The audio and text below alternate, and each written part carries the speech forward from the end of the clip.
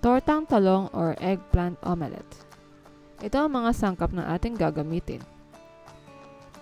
Biniling na baboy, kamatis, eggplant, bawang, at salt and pepper.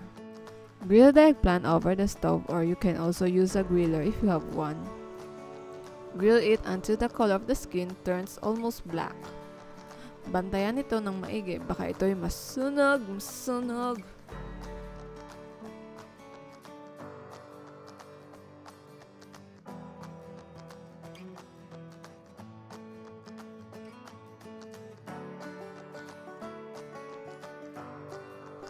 Heat the pan, put some oil,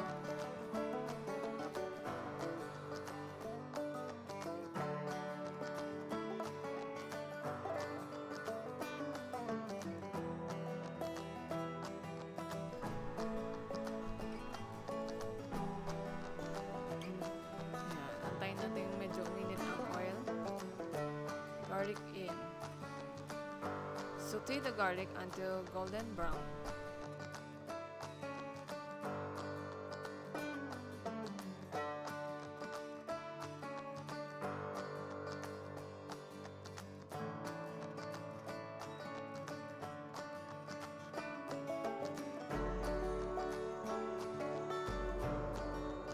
Ilagay na natin ang karne.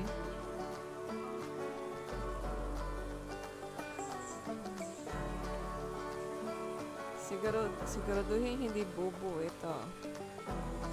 Yan, dapat ganyan. Pisa-pisain natin yan. Para hindi siya bubo. Fast forward ng konti.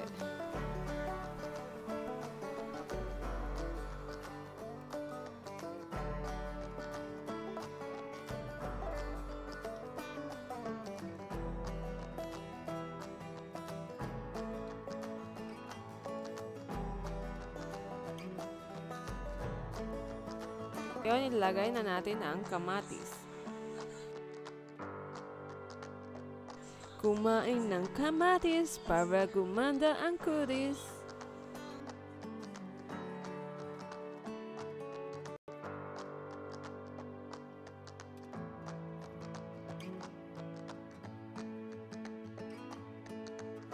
Season with salt and pepper.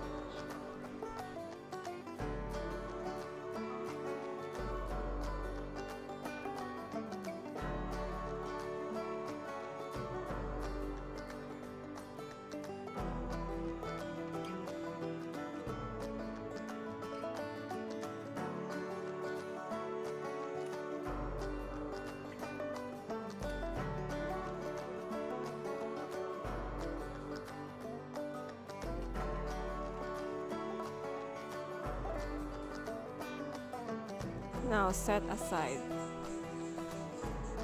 Yan, medyo lumamig na ating mga talong.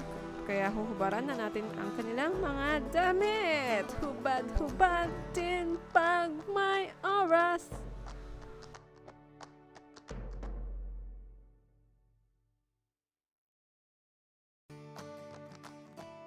Yung hinubaran nating talong, i-smash natin. Then, ibabad sa sa itlog. Kaya ngayon, lulutuin na natin yung talong.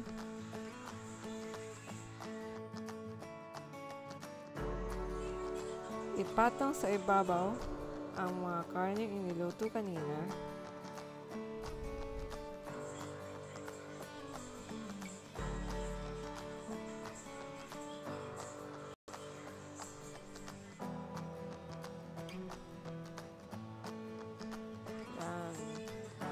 Tapos yung itlog, yan, buhos natin sa ibabaw.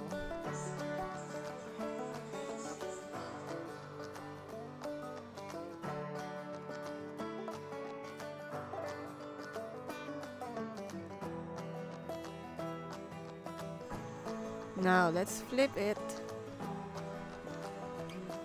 Dahan-dahan.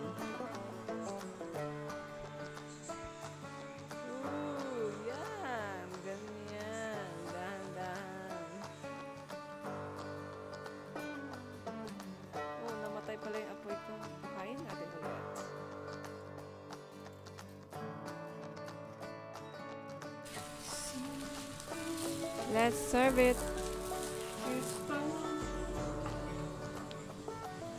Uh, Ayos!